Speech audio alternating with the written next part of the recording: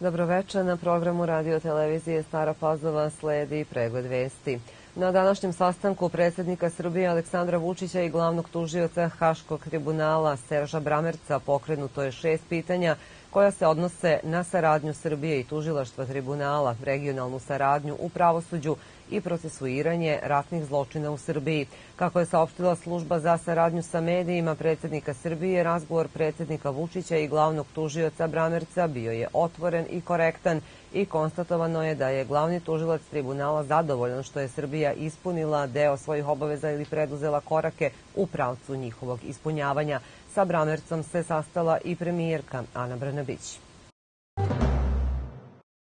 Regionalna saradnja predstavlja nezaobilazan faktor privrednog razvoja, međusobnih odnosa, tradicionalnih veza i jačanja prijateljstva između autonomne pokrajine Vojvodine i Republike Srpske. Saglasili su se danas potpredsednik pokrajinske vlade Đorđe Milićević i potpredsednica vlade Republike Srpske Srebrenka Golić.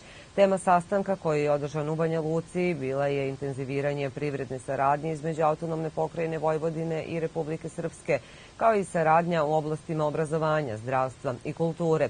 U Banja Luci u Privrednoj komori Republike Srpske održan je i privredni forum na kome je učestvovalo preko 60 vojvođanskih i privrednika iz Republike Srpske.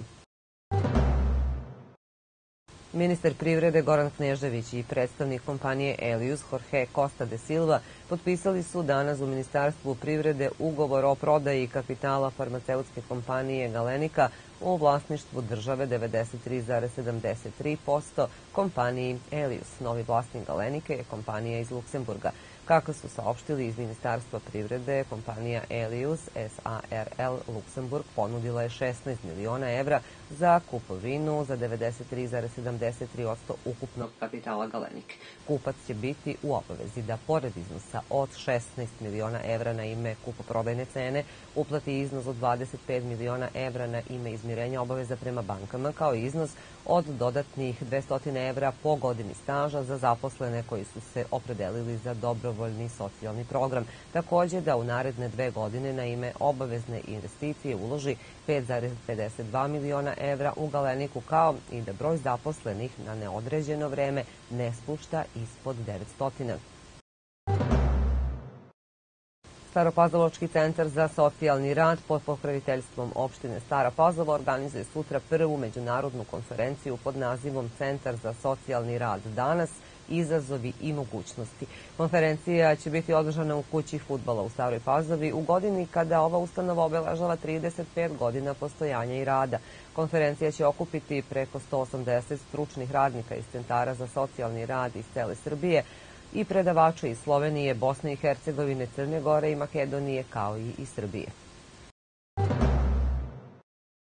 U maloj sali Bele zgrade u Staroj Pazovi održana je konferencija za novinare povodom formiranja inicijativnog odbora Narodne stranke u Staroj Pazovi, kako je 22. oktobra održana osnivačka skupština Narodne stranke na kojoj je Vuk Jeremić izabran za predsednika stranke, te su usvojeni programi i statut stranke i u Staroj Pazovi je osnovano povereništvo pomenute stranke kojim predsedava Slobodan Ilić. Povered poverenika ove stranke konferenciji su prisustvovali i članovi povereništva Jasna Urošević, Nemanja Simeonović i Branimir Ilić, koji su predstavili načela stranke i pozvali simpatizere da im se pridruže.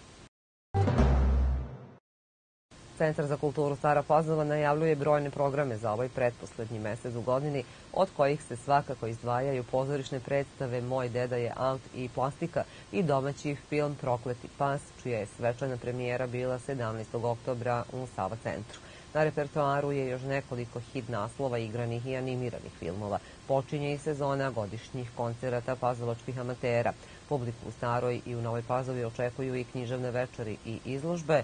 U Staroj Pazovi nastavlja i ciklus koncerata klasične muzike.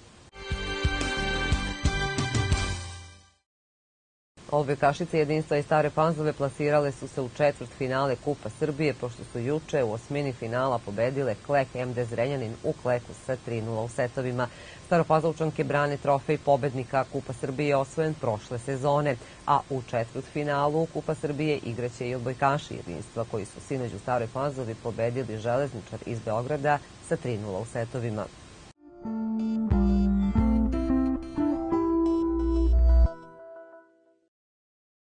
Sutra promenljivo oblačno sa sunčanim intervalima. Jutarnja temperatura 9, dnevna 15 stepeni. U vestima toliko, vama hvala na pažnji i ostanite uz programe radio televizije Stara Pazova. Prijetno večer.